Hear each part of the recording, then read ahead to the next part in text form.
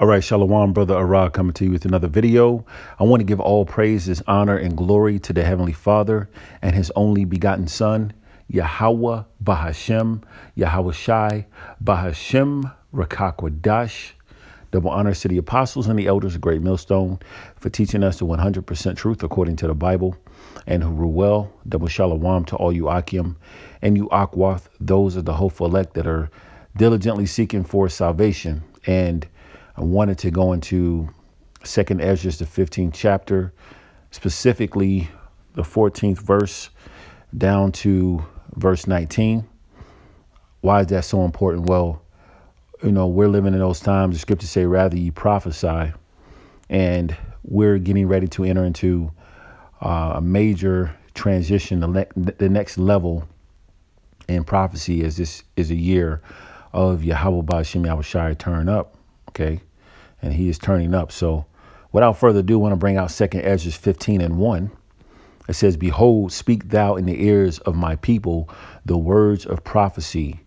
The words of prophecy are found in the Bible. No other doctrine, book, philosophy, anything you can think of contains prophecy. And one of the one of the proofs that the Bible is the truth.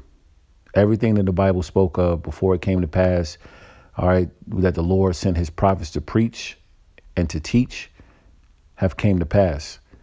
Okay, matter of fact, let me get a precept here and I'm to jump back. Okay, um, I want to bring out Isaiah 55 and 6. Matter of fact, yeah, Isaiah 42 and 9, which is what I want. It says, Behold, the former things are come to pass, and new things do I declare. All the former things that the Lord spoke of through his prophets. You know, one thing that pops in my mind is Noah when he prophesied through the spirit of the great flood, and that eventually came to pass. You know, the prophecy of 70 AD of us going into slavery, all of all the curses that would befall us if we didn't hearken to the words of the Lord came to pass. Okay? So all the former things that the Lord spoke of came to pass. One of the proofs that you know the Bible is true. Okay, and it says, New things do I declare. And we're going to go into some of those new things. One of the new things that I want to speak of, and a few list of other things, are what Yahweh spoke of um, to the disciples and the Mount of Olives privately war, rumors of wars, nation against nation, uproars of the people, earthquakes in diverse places, famine, pestilence. Those are new things that the Lord is declaring. It says, Before they spring forth, I tell you of them. The words of prophecy, the Lord tells you of them through his prophets. And that's what we are sent to do from the apostles, all right, down to us younger brothers. Okay, and now reading on, Second Ezra 15 and 1 says, Behold, speak thou in the ears of my people the words of prophecy. The Lord's people are the Israelites, the so called Negroes, Latinos, Native Americans, the scattered Israelites, who look like heathen nations but are Israelites. Okay, it says, Which I will put in thy mouth, saith the Lord. Verse 2 says, And cause them to be written in paper, for they are faithful and true. Okay, and it's sure to come to pass. Everything the Lord has been speaking of through his prophets have been taking place. You know, you're seeing um, the, um, you know, Gog and Magog rising up to the occasion. You know, the weapons of the Lord's indignation, the ICBM missiles are being prepared. Pestilences is at an all time high. Division is at an all time high. The Lord says he's coming to bring division, right? Famine is taking place. Much uproars of the people across the four corners of the earth. Proof is in the pudding. All right. Now it says, I'm going to jump down to verse 14 just to get into the lesson. It says, Woe to the world and them that dwell therein. Verse 15 for the sword and their destruction draweth nigh. Destruction is drawing nigh. And we're seeing it through the Spirit, those of us who are measuring the times. You can tell we're getting ready to enter into the next level. Now, these people are crying for peace because they can remove their face coverings. They don't have to show proof of, you know, them taking the you know what. So everyone thinks things are going back to normal. They think they can start traveling more without restrictions, but we're entering into another level in prophecies. It says, uh, now the scriptures say, when they shall say peace and safety, then sudden destruction shall come upon them as a woman uh, um, that prevail, but travaileth upon child, Salakia. Okay, I'm roughly paraphrasing.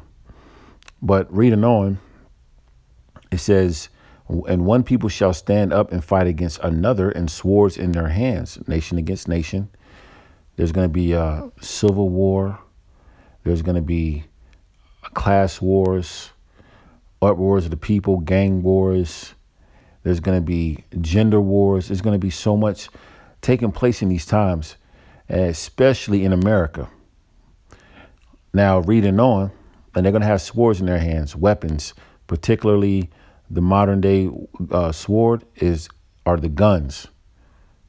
Many guns enough to go around in America, man. Each just about the average household, okay, um, has a weapon or more, okay, on average. Now, verse 16 says, For there shall be sedition among men and invading one another. And sedition goes into inciting others to rise up against the opposition and, I, and, and particularly uh, an authority. And there's going to be, it says, and invading one another, going into other people's um, private houses, okay, in their space and it's going to tell you why as we read on. It says, They shall not regard their kings nor princes. When you don't regard your king nor princes, the leaders of this society, from your local, state to federal level, meaning you're not going to um, take heed to their uh, commands when they're going to tell you, hey, stop the rioting, you know, uh, reduce the crime. They're going to try to put in a curfew in place, but these people are not going to give a damn about that. It's going to say, it reads on, um, and the course of their action shall stand in their power. All right. Now, this is going to be a result of all these things. Verse 17 A man shall desire to go into a city and shall not be able, and that is called martial law. Martial law will take place in your lifetime. They're going to have, you know, they're going to have different um, military authority uh, situated where you can't go in and out of a particular city, okay, or or the city near you. This is going to be their answer, the elites' answer to all the chaos that what they are really stirring up. Verse 18 says, For because of their pride, the city shall be troubled. So all these cities are going to be troubled because of their pride. These people have the luxury of living life without any, you know, uh, any worries. They've been comfortable. You know, it's been a very selfish society. No regard for the higher power, Yahweh Bashim Hawashai, which we don't expect a society, this wicked society, be to be referencing Yahweh Bashim Hawashai. But, you know, the pride of this place has been increasing at an all-time high. So the Lord is gonna is gonna humble them with a dramatic effect. Now it says, the houses shall be destroyed and men shall be afraid. So these, you know, these uproars and riots that's getting ready to take place is going to be a lot of destruction going on. Houses are going to be ravished, burnt down, windows and, you know, roofs and all that going to be destroyed. You know, doors going to be kicked in. I said the men are going to be afraid. So you already know everyone's going to be afraid, right? But the Lord said, At destruction and death, thou shalt laugh at it. T- speaking of the servants, the Lord's going to protect, you know? So there's going to be two sides of the coin. You're going to have majorities people catching hell, afraid, in misery, okay, uh, fearing for their lives. But then you're going to have, you know, the servants of the Lord is going to be, you know, fed during a time of famine and receiving protection witnessing these things that are going to be happening around them. Verse 19 says, A man shall have no pity, all right, upon his neighbor, but shall destroy their houses with the sword. So there's going to be a lot of home evasions. You know, and so, and these times coming up is going to be very dramatic Jacob's trouble is getting ready to hit at an all time high. You know, and it's going to put a lot of fear in people's hearts, their minds. People are going to wish that they could, uh, uh, they're going to seek death and death shall flee from them. You got to imagine all the different dead bodies is going to be, um, you know, around. No, no uh, burial services or anyone to to lament for them.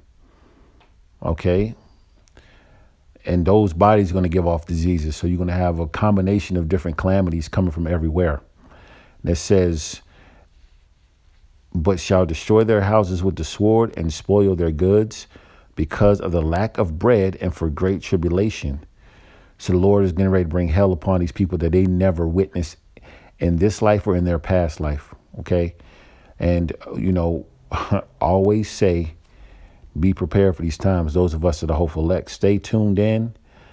Stay close to Yahweh Shem Shai. Keep cleaving, cleaving to our power because it's the only way out for us. You know, we believe in this and we have hope that, you know, we're able to make it out if we endure. I want to bring out this last one here, St. Matthew 24, and I think it's 21. It says, For then shall be great tribulation, okay, for their pride. Wickedness has exceedingly polluted the whole earth, and the whole and the work, hurtful works have been fulfilled. And America is the main hub of that. All right, the main hub of these Edomites, the so-called white people's, you know, society, where majority of the influence of wickedness or the influence of the wickedness, you know, comes from. Okay, so this great tribulation is going to hit Babylon the Great, aka America, the hardest. It says, such as was not since the beginning of the world to this time, no, nor ever shall be. So this great tribulation is going to be one that we've never seen ever. Okay, right before this wicked, sinful kingdom goes out. Verse 22 says, And except those days shall should be shortened, there should no flesh be saved. And you see the days speeding up because we're in those times where um, this great tribulation is getting ready to hit, and the Lord is going to speed it up even more. All right, the days, and He's doing it as it reads on. But for the elect's sake, those days shall be shortened. So the Lord is shortening the days to save the chosen out of the nation of Israel, the elect, the 144,000 men, the governing body, and the one third men, women, and children. So the Lord cared for his elect, and that's why you see these things happening. The Lord really is doing everything for his heritage, the nation of Israel, but it's going to start with the elect, praying we're part of that number. See, I just want to do a lesson on 2nd Ezra, the 15th chapter, verse 14 through 19. All praises to Yahweh, Bahashem, Yahweh Shai, Bahashem Rakakwadash, double honors to the apostles and the elders of Great Millstone. Shalom.